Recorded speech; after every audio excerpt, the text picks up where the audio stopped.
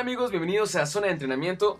Les doy la bienvenida a Juegos de Habilidad. En esta ocasión veremos los centros en nivel leyenda. Para este ejercicio utilizaremos a mi pequeño amigo Philip Lam, que es un gran, gran centrador y es buenísimo para este ejercicio. Es muy importante que utilicen los gatillos izquierdos de sus controles, tanto para tirar como para centrar. Sí, digo para tirar, ahorita van a ver por qué. Bueno, aquí empezamos.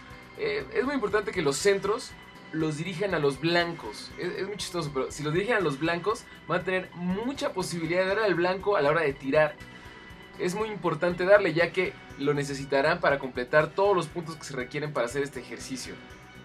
Siempre tienen que centrar con el gatillo izquierdo y deben tener un timing para darle al balón con el gatillo izquierdo y el tiro, porque cuando le pegan de volea te da el doble de puntos te da el doble de puntos. Aquí igual estoy haciendo una pequeña pausa. Me espero en lugar de la cabeza, le doy con la pierna. Con la pierna para que me dé el doble de puntos. En este caso logré impactar también el blanco y me dio muchísimos más. Todo el tiempo tienen que dirigir sus centros adelante hacia donde van los delanteros. Todo el tiempo hacia donde van los delanteros y si pueden mandar el centro hacia los blancos. Ya que iba a tener mucha posibilidad de que a la hora de tirar vayan a darle al blanco y a meter el gol. Así es, siempre tienen que tratar de dar a los blancos. Es muy importante en este ejercicio porque si no lo hacen, lo van a hacer un poquito antes, el centro lo van a dar después. Y aquí el chiste es que sí es importante dar a los blancos porque si no se puede llegar a la cantidad de puntos que nos pide el ejercicio. Todo el tiempo tienen que estar buscando las voleas. Las voleas todo el tiempo. En este caso parece una volea pero como la paró con el pecho no nos da los, el doble de puntos. Eh, si miden mal su, su momento en el que tiran, generalmente el rematador, dependiendo de sus habilidades, va a rematar con la cabeza posiblemente. En este caso nuestro delantero es Mandusic, del Bayern Múnich, y es un cuate que siempre quiere ir para la cabeza, todo el tiempo, todo el tiempo. Pero si controlan bien el, momento de tirar, siempre, siempre van a dar la volea.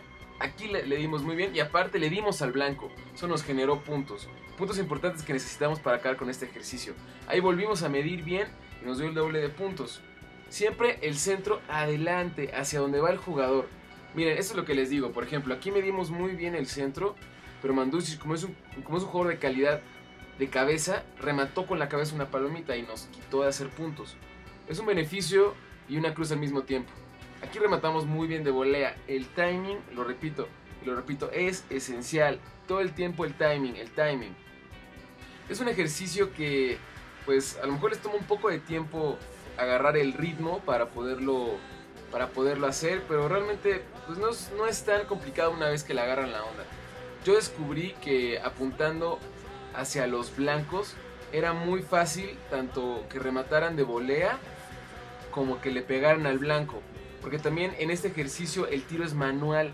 Así que si no controlan bien sus tiros o tratan de apuntarle a los blancos directamente, pues generalmente van a fallar el tiro porque es, es muy sensible la, colocación. Entonces lo que yo les recomiendo es que no traten de buscar los blancos tirando, sino más bien centrando casi, casi para que el jugador llegue a rematarle a la cara a los blancos todo el tiempo. Aquí de nuevo buscando los blancos y rematando derecho. Y así terminamos el ejercicio. Nos estaba comiendo el tiempo, pero lo logramos hacer. Espero que les haya gustado este tutorial amigos. Recuerden, FIFA la vida.